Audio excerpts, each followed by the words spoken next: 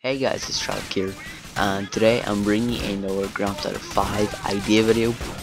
So I did do one of these before, and it was a buried alive idea, um, and you can find that in the description below with some of my old GTA videos.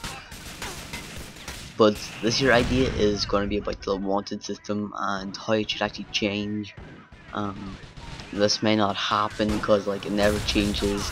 All that happens is like if you have played GTA before, um, you will know if you get the cops after you that um if you get about two or three stars after you um and you go like try to hide or something, the cops will come straight after you and um they'll just know where you are straight away.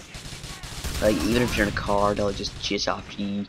Even if you make a few turns and like they've lost you for like a few seconds, they'll just they'll automatically know where you are. And um, it can be quite annoying sometimes, but not really annoying like all the time.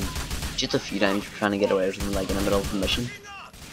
Um, but my idea is actually change out there. So like um, if you are like hiding from the cops, you've got like two stars, and like for example, if you're hiding in like a dark alleyway, and um, you're hiding behind like uh a garbage like truck or something. Just example if it's parked in there, or even if a car, and um the cops are like shining a flashlight in there, you don't make a noise at all, and um like they just don't see it all.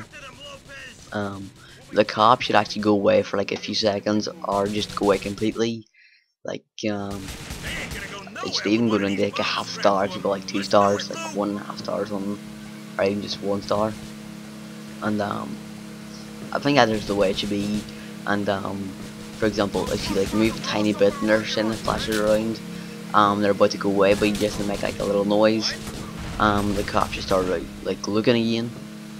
And if you're like on three stars and you're like you're in a car with like your lights on and um, like they can't find you at all, they should actually bring a chopper up.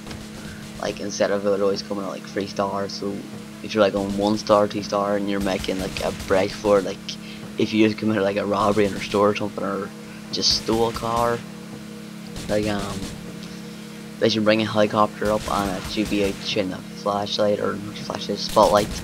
Um you, you should actually be able to see it in your mini map and um if it gets close to you you can like speed up or slow down or anything like you can choose to be um to be getting caught by the police or just to like um outsmart them and like just completely drop off the map. Like whatever you want.